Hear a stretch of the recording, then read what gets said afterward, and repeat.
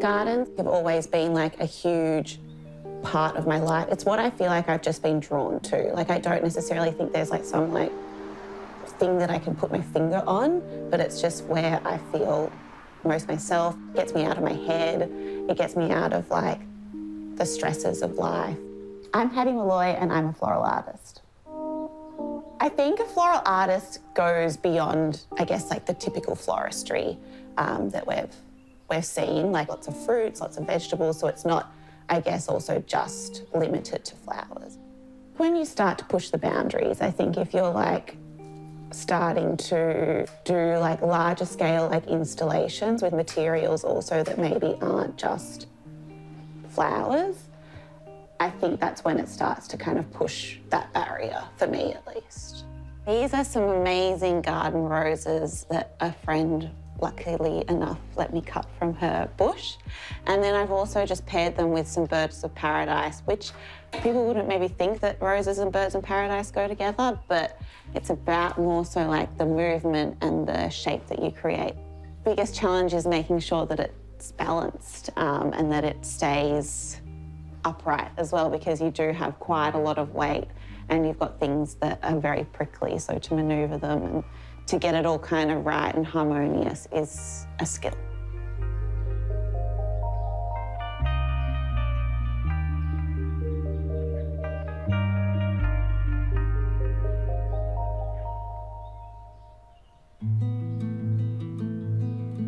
I was born in Blackrock and I grew up around that area and then we moved down the Mornington Peninsula when I was quite young.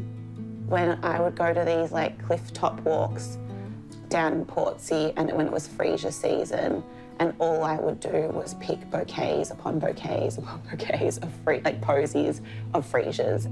It's just all I wanted to do and spending a lot of time in my grandma's garden, like I would make posies for my teachers, I would take them to school. Like I was just, it's just what I wanted to be around. My grandma would also take me to the local florist and I would sit there in awe and be like, oh my God, people get to do this for a job, you know? So I think um, it was like always like what I kind of thought I would do.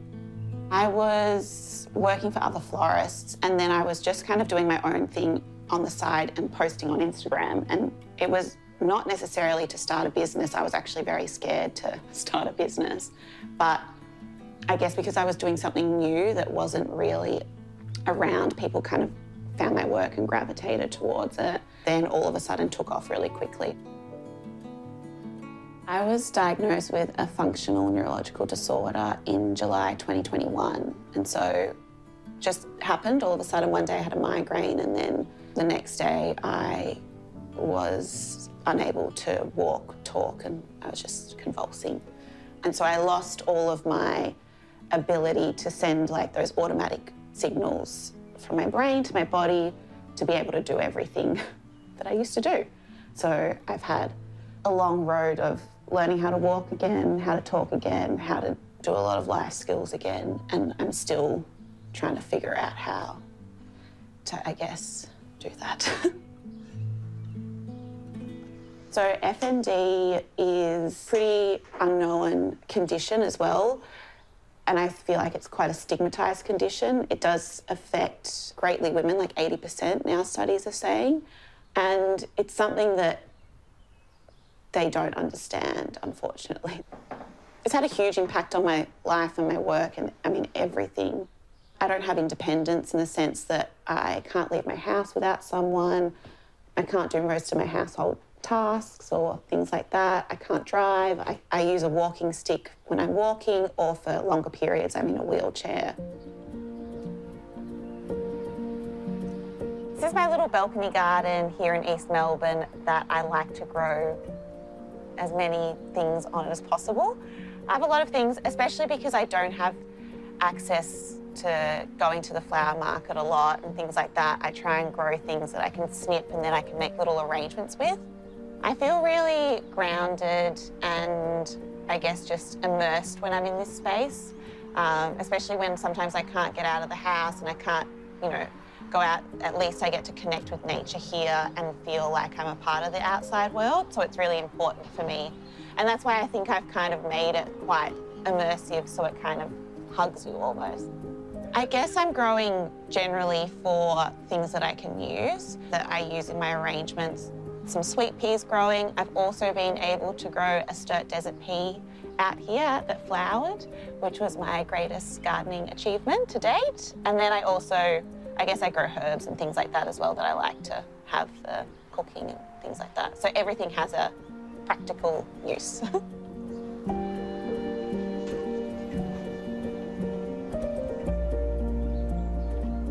it always kind of amazes me what I can come up with out of that space. And usually it is kind of like some quite common things like pansies, violets, nasturtium. So they're all really easy to grow.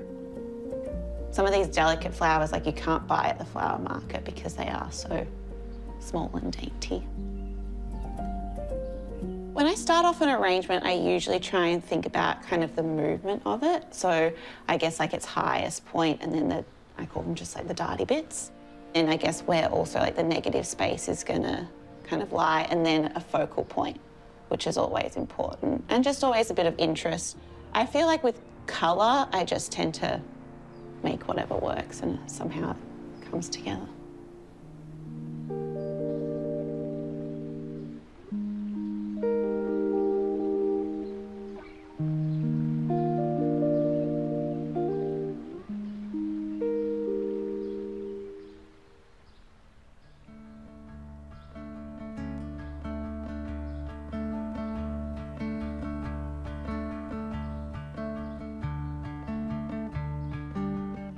It'll be nice when the Japanese maple comes.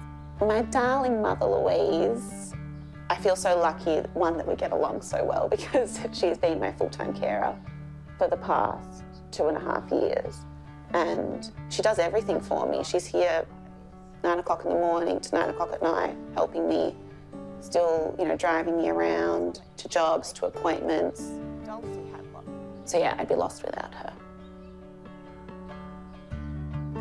So I've had to make you know huge adjustments, but I still have been determined to still work throughout this. I think that sometimes it's easy when everything stops working to just like focus on everything that isn't working and my creative, I guess, um, practice has given me something to focus on that is still working because I'm still creative. I still have ideas. I can still make those ideas come to life. I just have to do it in a different way now.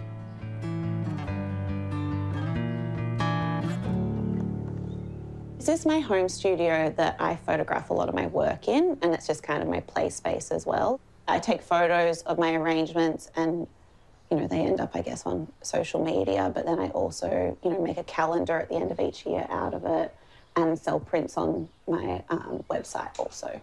I think that a lot of the beauty comes from using like interesting and things that you wouldn't, I guess, normally pair with flowers. So I love corn. Like, it's just so incredible. The um, the colours and the texture and everything. And then with the humble radish, and then with lily of the valley, which is one of the most gorgeous flowers and scents that you can get. If I actually think that it, it's maybe not going to go together, I think that's I'm onto the right thing, if that makes sense, because I think pairing things with what you don't maybe traditionally think of going together, and all you can do is have a play and see if it works. Like I started out this, and I even was like, oh, maybe this isn't going to work. But then as you go along, you start to see, I guess, how things can intertwine together.